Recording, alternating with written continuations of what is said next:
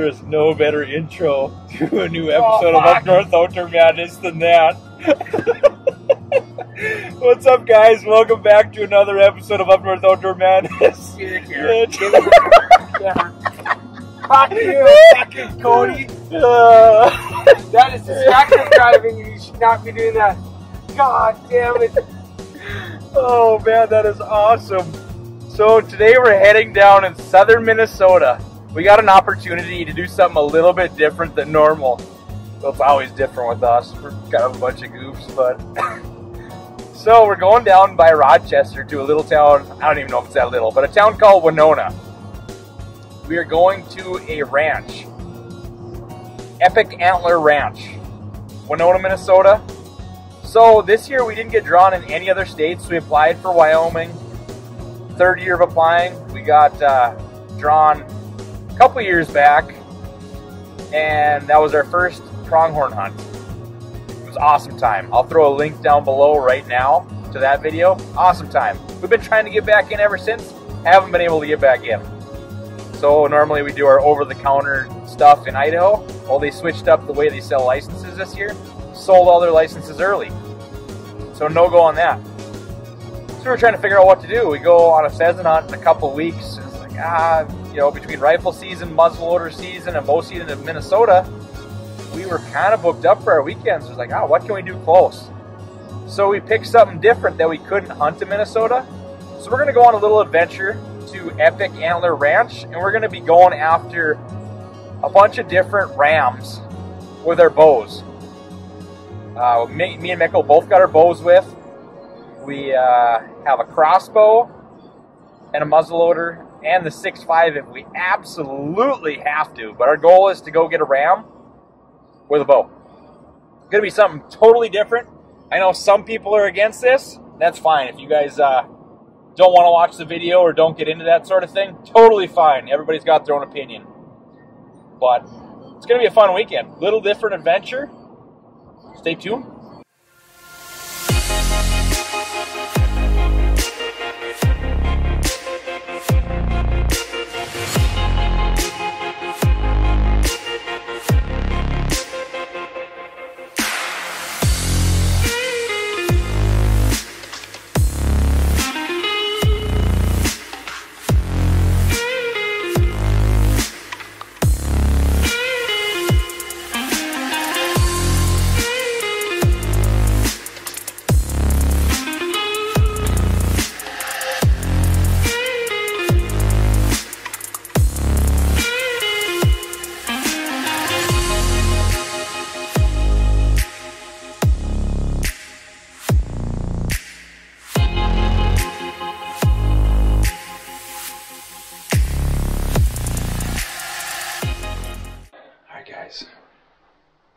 Us off at his stand. We took a couple laps around the property, checked it out, kind of seen the layout, so we know where all the stands are at. We've seen, we've seen the mouflons, we've seen a Hawaiian, we've seen a white Texas. I think the Texas ram, right? The white one. Um, and then we've seen the black belly Corsicans. And the Afghan, yeah, the Afghan was with the mouflons. Um, so we've, I think we've seen most of the rams on the property the mouflons were actually heading this direction. They're probably what I don't know, 500 yards away at least. Yeah, maybe further than that. I think he said 800 at some point, but so yeah, they're 800 yards away. They're kind of just meandering, drinking water in a ravine when we seen them. And they went up the hillside, so yeah, we're gonna get set up, hang out, and see what happens. Stay tuned.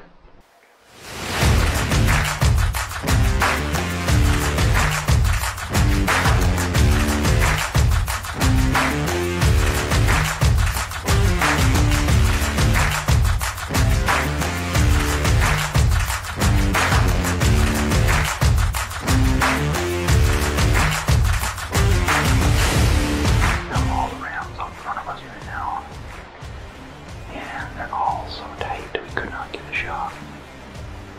So right now they're bedded at like 48 yards. Hopefully they squeeze it like 30 and they're not gonna take tight open. They're so tight like you could hit two potentially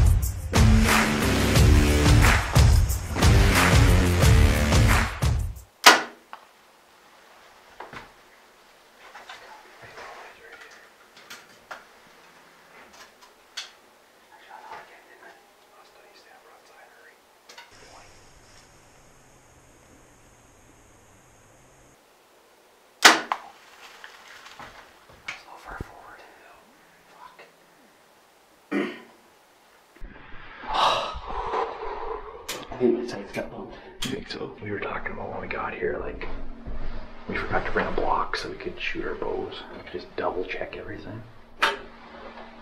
Mickle shot everything like he was shooting this week and shoot good. But yeah, you throw everything in a pickup and then you travel seven, eight hours. We're gonna we're kind of just waiting a couple minutes here. We checked the footage on Mickle's ram and it's, it's it looks like a pretty good placement, but it just didn't look like it had the penetration. Like If it cut two inches further back. Yeah. Yeah. I'm guessing this is probably the trail. Yeah, here we got some blood.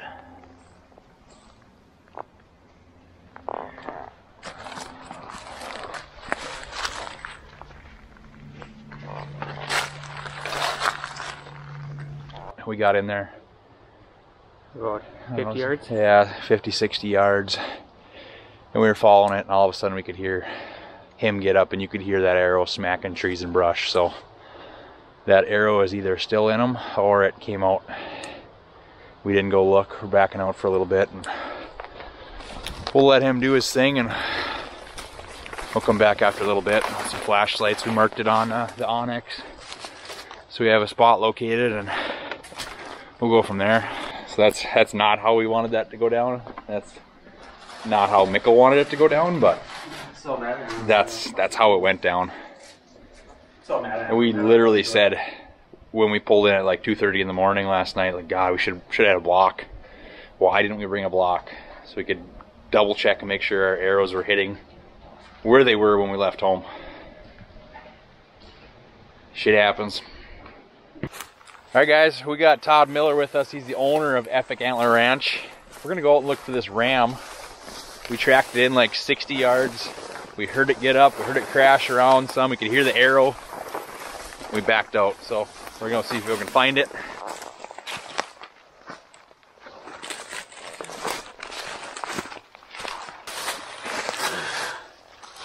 I ain't getting too deep. Oh, you're missing six inches off there, and there's blood on four inches of the arrow. But arrow coming out. I was hoping you bleed a little yeah, more. it's, it's bleeding less. Just having a hard time guessing, but I'm guessing we've gone a couple hundred yards, haven't we? Oh, yeah. Yeah, all of that. So from where we left the arrow, we've gone a couple hundred yards. It got pretty thin for a while, but now it's been starting to uh, open back up. I mean, I would, if I really had to bet, I'd say probably 300. 300, yeah. Well, guys, we ended up backing out of where we quit. The last spot we found blood. Tomorrow, like Mickle said, he's uh, probably switching up. I'm over it. so over it. Six five. Like, I want to kill this thing. This sounds like we're going to take out the 6.5 Creedmoor. Yeah, not even muzzle loader. I'm just going right to the max. I'm just. If I had my 300 Win Mag with, I'd have that all. me. We're going to get started early this morning. Earlier than the first morning, anyways. Almost 7. Sun's supposed to come up like uh, 7.30. We just found the herd of mouflons. We're to go see if we can pick Mickles out of the group. We're not messing around anymore. We got the 6.5 with. We got a arrow in his front shoulder blade last night, so we want to get him down. Then we'll, uh, we'll worry about trying to get me with a bow, who knows? We'll see what happens.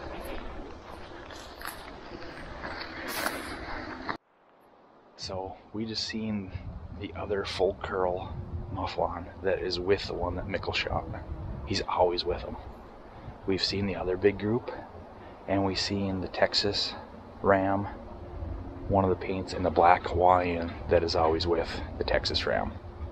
We have not seen Mickles anywhere. The last place we saw him was right here in this stretch. So we're gonna check the spot behind us. We're gonna check this ravine here.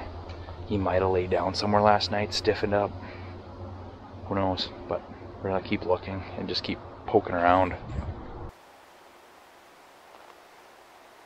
That's him. Blood, blood, blood. Yeah, we know where he's at. We found him. He's heading up. He's seen blood.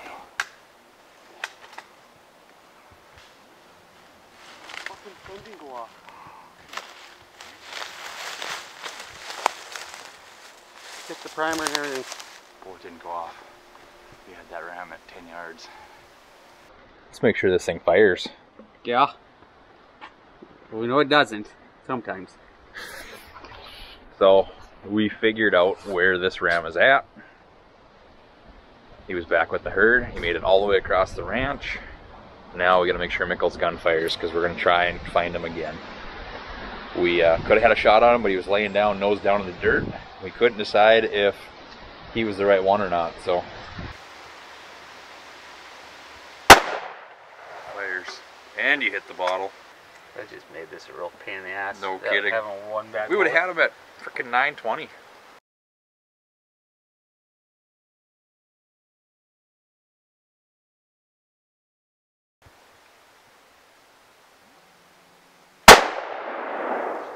Wrong one. Just kidding.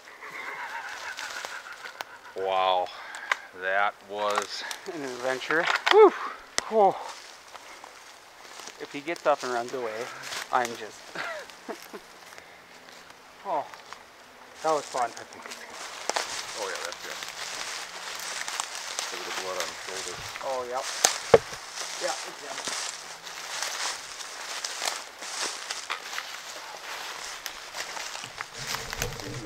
well. That was a challenge. That was a challenge. That fun. Those are some massive. It's gonna make one sweet European mount. Yep. I like the tight, full curls.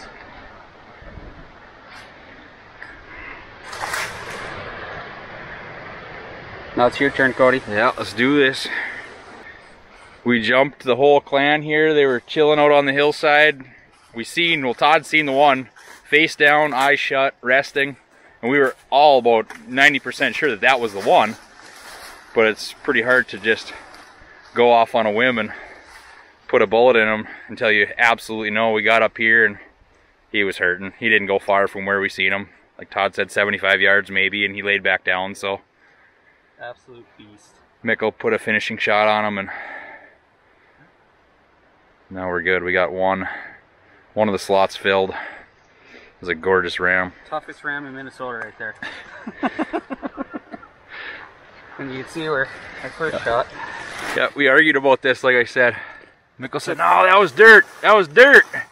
You could see right where his broadhead Oh, cut yeah. those hairs right off. Shaved and look at you can just see this come Yep. back.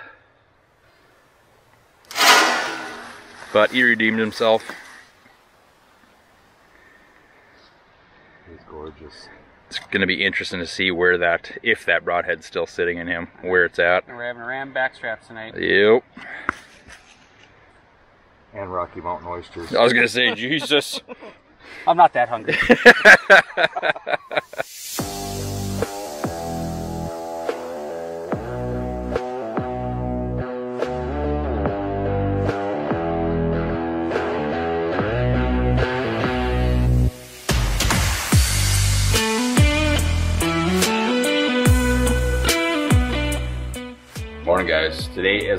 morning sit.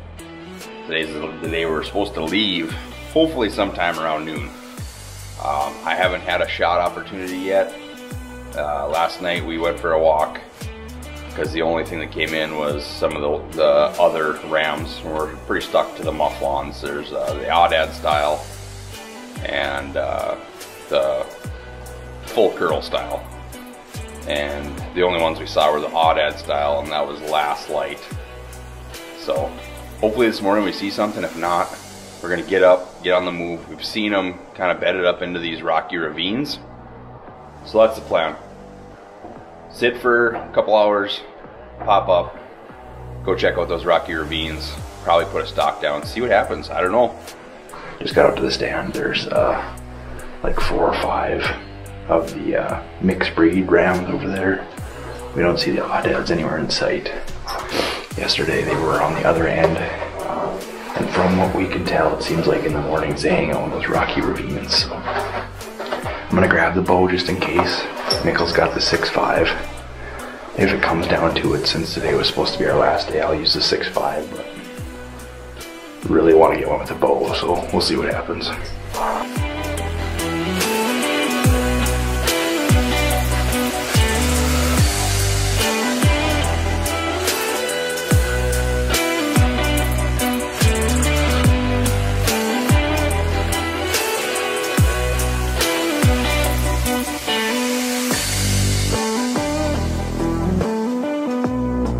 Covered a bunch of ground this morning, moving around and trying to spot and stalk, and we were close to the herd a few times, but they were in way too tight a cover. The afternoon, we moved back to the sunny hillsides, and we could hear them fighting, so it was game on.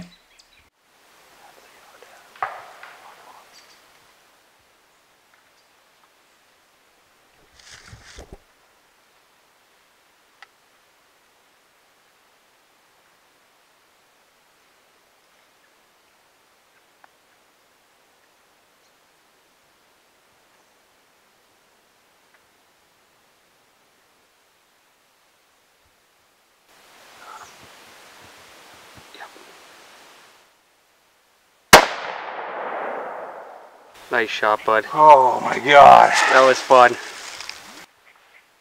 So that was not the initial ram we were going for. That's not the one that was hanging out with Mickles. He's a beast, though. Hey, nice shooting, bud. Oh, man. Ever since frickin' Mickle shot his, like they came in two nights in a row. Perfectly, like perfectly to that stand coming into the food plot. Mickle shot his in the front shoulder. And we chased. We've been chasing them and tracking them and stuff and so forth all over. There he is. I see horns. Oh, yeah, there he is. We've been chasing them all over, and ever since then, they just have not hit, been hitting the food plots the same. So we kind of had to go back in here and do a stalk. We sat with them at 80 yards for three hours this morning. And like we, we were starting to wonder if they were even in there anymore. And then we snuck in closer and boom, pushed the whole herd out of there. And we found them again. Here's my first ram ever. This uh, this ram's more of an aoudad style ram where Mickles was more of that uh, full curl. It's a mouflon. I wanted to get it with the bow, but it just was not happening. Like after Mickle got his with the bow, they weren't coming into the food plots the same. They were a little spooked and they were sitting in tight cover. We got it. We, we had just a little bit of an opening over there, like a three, four foot opening between the trees. Took a shot, went down. But yeah, this was a pretty sweet, fun hunt for southern Minnesota. Something a little different. Obviously, everybody knows this is on a ranch, but if you've never done a ranch hunt, 10 years ago I said I, I would never do a ranch hunt, something like that, but me and Mickle decided, you know what, rams are something we can't do in Minnesota. So uh, we tried it out. It's an adventure. It's, it's a different style of hunt. It's a lot of fun. He was a scrapper. Yeah. He came down that hill like, I don't take shit from nobody. Yeah, those two uh, two smaller ones, mixed breed rams were, I mean, just slamming horns to beat heck, and he come rushing down there, and you could tell he was trying to be the big dog. Yeah. That's a sweet animal.